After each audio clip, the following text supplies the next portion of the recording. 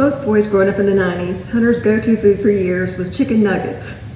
While his palate has certainly expanded, he still, to this day, loves chicken. And nothing says welcome home when you come in the door like a delicious smell of roast chicken.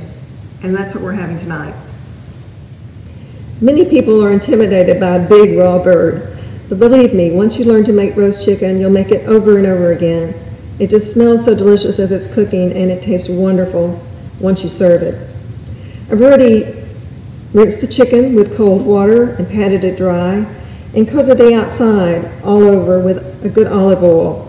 You coat the whole body of the bird, the legs, the wings, everything with the olive oil. This will ensure that you have a beautiful brown bird. I've also stuffed some lemons into the cavity of the bird, and I like to put a couple of lemon slices on the side just to hold the legs in a little bit better uh, as the bird is cooking. Just like that. The next step is to sprinkle the bird with a good seasoned salt. In the past, I've made homemade seasoned salt, but there's so many wonderful um, store-bought ones that I like now.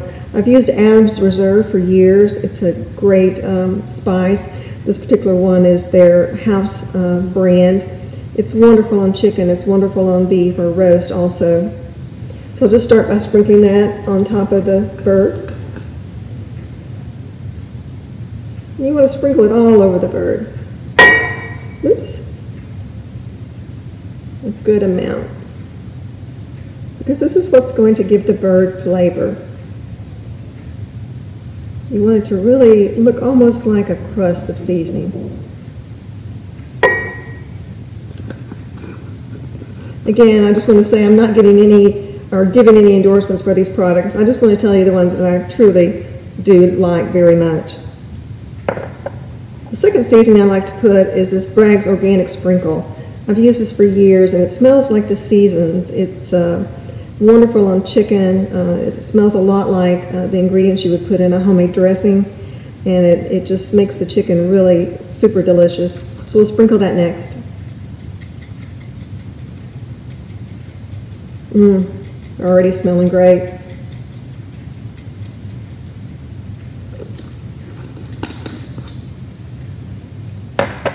also add from the yard some rosemary. Uh, if you've never grown rosemary, it's super easy. I grow mine in a large pot and it's just wonderful to have it to cook with.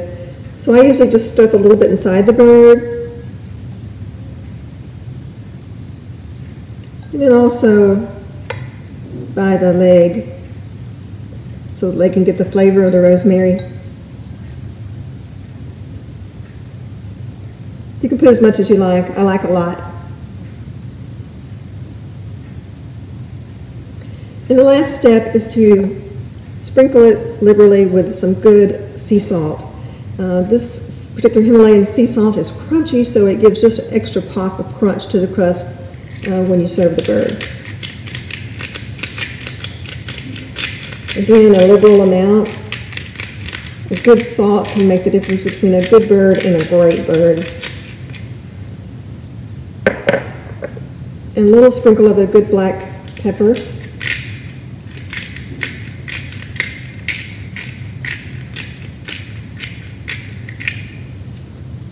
And there you have it. So it doesn't look quite so scary now that we have it all fixed up. We're going to place this in a 425 degree oven for about an hour and a half. We're also going to accompany this with some vegetables, so we'll do that next.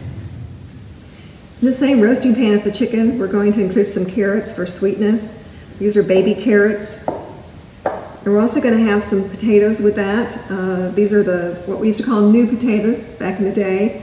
Uh, they're just small uh, red and yellow potatoes and they just go wonderful with the chicken as well. A rule of thumb for these small potatoes is usually about four potatoes per person will do the trick. I usually do about six because I like to have leftovers, but about four is just right. The first thing we'll do is to put olive oil on top of the carrots because we're going to put a season. And if you don't have some oil of some sort on there, and olive oil of course is delicious, the seasoning will not stick. I like to use this Fresh Success roasted potato seasoning. Uh, they have all kinds of different seasonings. Uh, maybe you have a favorite potato seasoning you like. but this is the one I always use and everybody seems to love it. So sprinkle that right on. I put probably, oh, a quarter of a package on there. Mix that up a little bit.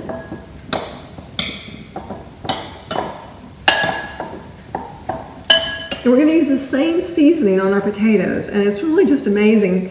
You would think they would taste just the same. You know, they both have the same seasoning, but the vegetable itself comes out, and you taste the vegetable with just a little bit of snap from the season. So they taste completely different. So I'll add the potatoes now.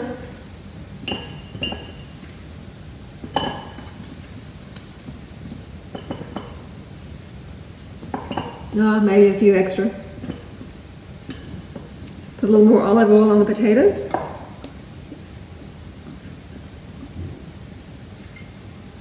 A little more seasoning.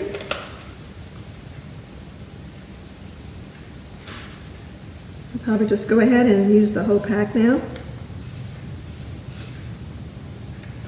And mix that up.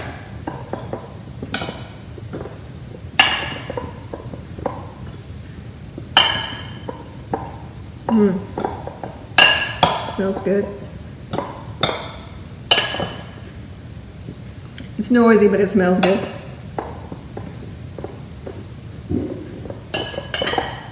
Then we'll just pour it right into our pan.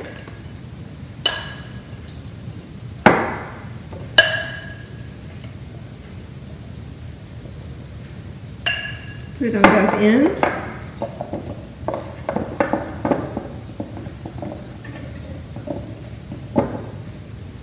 Doesn't matter if it gets right next to the chicken, it'll just get all the delicious juices of the chicken.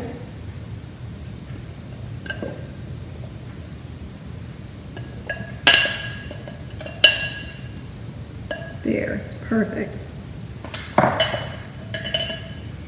I also suggest that you use a dish similar to this.